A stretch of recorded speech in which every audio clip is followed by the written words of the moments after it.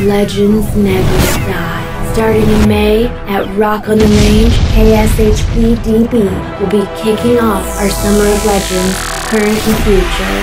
We will talk to those that continue to inspire, all while covering those future legends that are shaping the rock landscape of today.